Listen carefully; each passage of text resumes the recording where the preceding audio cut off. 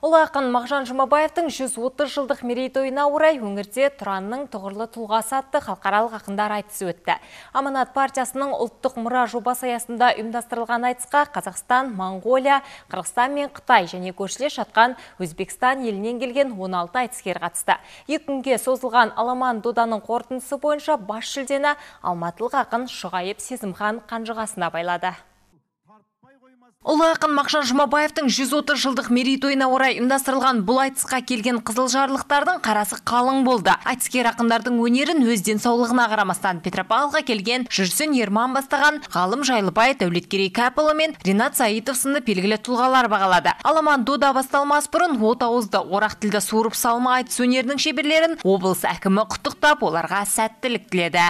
Биылғы жылды Мағжан жылы деп жарияладық жылдың басынан көп іс шаралар мағжанның 130 жылына арналған өткізіліп жатыр бүгінгі ақындарға айтылатын ақ жол мықтылар жеңсін дейміз.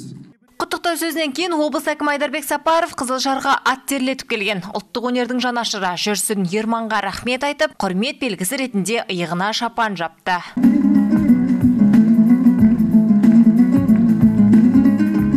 Тұранның тұғырлы тұлғасы атты халықаралық ақындар айтысы аманат партиясының ұлттық мұра жобасы аясында ұйымдастырылған. Аламан додада қазақстан моңғолия қырғызстан мен қытай және өзбекстан елінен келген 16 айтыскер ақын бақ сынасты айтыстың шымылдығын қостанайлық ақын айбек қалиев пен жерлесіміз жарқын жұпархан ашты.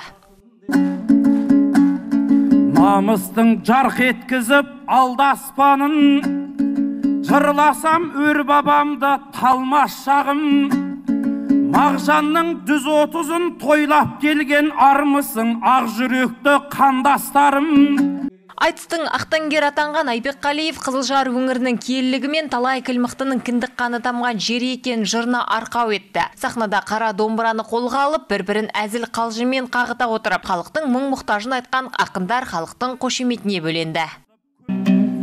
Мен жастарға сенемін деген мағжан сол сенімді ақтайтын ұлжын дедім. Болмасаң да ұқсап бақ деген абай жүрсіндей тұр болуға құлшын дедім. Халықтың ықыласы зор айтысқа деген. Мұны біз менен баяғы студент кезімнен тоқсаныншы жылдардан бастап осы қызылжарға айтысқа келіп жүрмін. Қызылжарда айтыс болса қалып жүрген жоқпын. Сондықтан да халықтың айтысқа деген ықыласын мен баяғыдан білемін бұл жолғы халықтың ықыласы өте ерекше болды. Асыл сөздің жілігін шағып, майын тамызатын суырып салма ақындар арасында ұйымдастырылған мұндай үлкен додада қырғызстандық Нұрсұлтан Малдыбаев та бақ сынасты. Айтыс өнерінде жүргеніне тек 5 жыл болғанына қарамастан ол көптеген халықаралық айтыстардың жүлдегері. Оның жұбы алматылық ақын Шұғайып Сезімхан болды. Қырғызстандық айтыскердің келі Қызылжар өңіріне екінші рет келу екен біз қазақ қырғызстанда дағы бірнеше рет айтышқанбыз қазақстанда да айтышқанбыз екі елде айтыш дегенменен біраз айырмашылықтар бар. Қазақта айтыш біраз өзгөчөрөөк келет. Мына үлкен кісі болобу кичинекей киши болобу бетке басып айтат го казактын акындары биздин халык эл болсо андай нерсени кабылдабайт сыйлашып турганды жакшы кабылдайт ошол жагынан изилдеп бул жакта кандай кабыл алат кызылжар эли кандай кабыл алат али күнгө чейин кызылжар петропавл деген аты алмашпаптыр бул жакта жетимиш пайыз көчөлөрдүн баары орусча экен деген нерсени биз дагы кыргыз элинин атынан өтүнүч кылып жалпы айтсакпы деп атабыз анткени мағжандын эли деп аткандан кийин мағжандын эли бул казакча болуу керек го халыкаралык айтыстын актык кезеңи улуу мағжанның эли сары томарда өттү он алты айтыскердин арасынан үздүк деген сегиз ақын зорлап шығып бақ сынасты айтайын хан тәңірдей айқай ақау хас биік ой. Тізілсін рет ретімен тәсбиі ғой шоғайып шын айтасың бұл ағаңыз.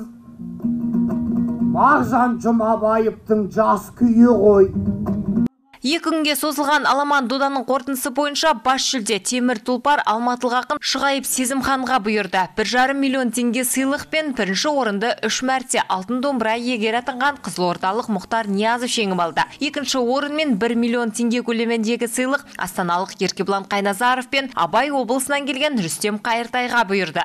Ал қостанайдың намысын қорғап келген айбек қалиев пен қарағандылық мақсат ақанов үшінші орынға ие болып жеті жүз елу мың теңгелік жүлдеге ие болды кешегі мағжан туған ел осы еді тұлпарды толғатқан жер осы көрседі мағжанның тойында қалған жүлде мен үшін жүлделердің төресі еді рахмет қуанышым қойныма сыймай Сондай ақ көршілес мемлекеттен келген Нұрсұлтан Малдыбаев пен Алтайдың ар жағынан келген ару Жүрсінгүл Мұратқызы да құр қол кеткен жоқ. Екі айтыскер ақынға 400 мың теңгелік арнайы екі жүлде табыс етілді. Жансая Қайепова, Әділ Нұржанов, жаңалықтар қызметі.